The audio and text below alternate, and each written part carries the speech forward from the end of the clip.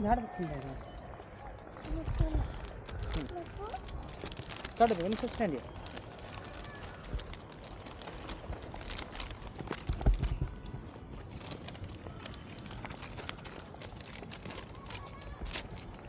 बंद करो बंद करो। ए, लड़ाई नहीं।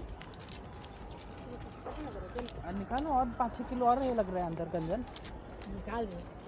निकाल लो खिला दो इनको ही खिलाओ ज़्यादा इनको इनको नहीं मिल रहा है। पकड़ो, पकड़ पकड़।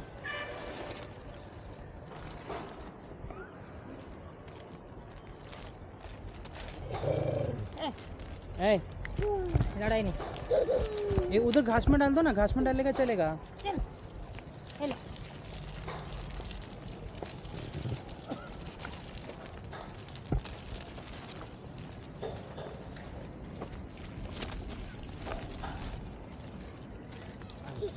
आज यहाँ के बहुत सारे डॉगी नहीं दिख रहे हैं। दो डॉगी तो गायब ही हो गए।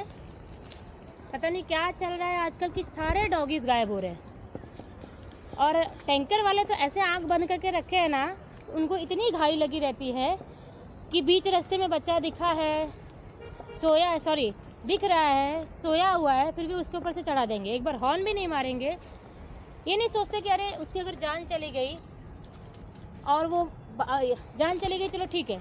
लेकिन अगर वो बच्चे को समझो वो बच जाता है तकलीफ़ में रहता है पूरे टाइम रोता रहता है तो कितनी बदुआ लगती होगी? जान की भी कीमत होती है लेकिन बच्चा जब बच जाता है तो वो तो कितना सफ़र करता है आप सोचिए। उसका हिसाब नहीं है। हमें थोड़े से हाथ कट जाते तो हाथ दुखते हमारे। हाँ तुम खिलाओ। और जिस जब बच्चे को टैंकर नहीं विनिशा छी छी छी। टैंकर टैंकर चला जाता है। रुक जा रुक जा। चलो। डाल दो उधर डाल चलो बस। खत्म। छोड़ दो ना खा लेंगे। उधर ले लेते सारे चलो बस हाँ हमारी छोटी सी भी उंगली कट जाती है तो लोगों को इतना दर्द होने लगता है। तो सोचिए उन बच्चों के ऊपर गाड़ी चली जाती है टैंकर चला जाता है। और खास करके ये ठंडी का मौसम है। और आप बड़ी बड़ी बिल्डिंगें देख रहे हो आप। दिख रही होगी शायद आपको। यहाँ पर हम कुछ अगर एक विनीसा रुको। अगर हम कुछ रखते भी है कुछ ऐसे बच्चों के बैठने के लिए हम शाम को रखेंगे या सुबह रखेंगे? दूसरे दिन सुबह गायब हो जाएगा। क्यों? क्योंकि गंदगी वो फैलती है ना, लोगों को लगता है सोसाइटी वाले को लगता है। तो इसलिए हम नहीं रख पाते हैं, क्योंकि हमारा प्राइवेट प्लेस नहीं है, हम सोसाइटी में रहते हैं। एक तो मुश्किल से सोसाइटी के सामने खाना खिलाने मिलता है। वो लोग बोलेंगे, खाना भी खिलाते हो प्लस घर भी बना के रख देते हो। तो सब चीज़ें हम लोग नहीं कर पाते हैं। तो ये बच्चे क्या करते हैं, गर्म के लिए ठंडी के कारण रास्ते पे आके सोते हैं, बीच में साइड में सोते हैं। और जिस चक्कर में उनकी जान की कीमत ज़ीरो हो जाती है, कोई वैल्यू नहीं रहता है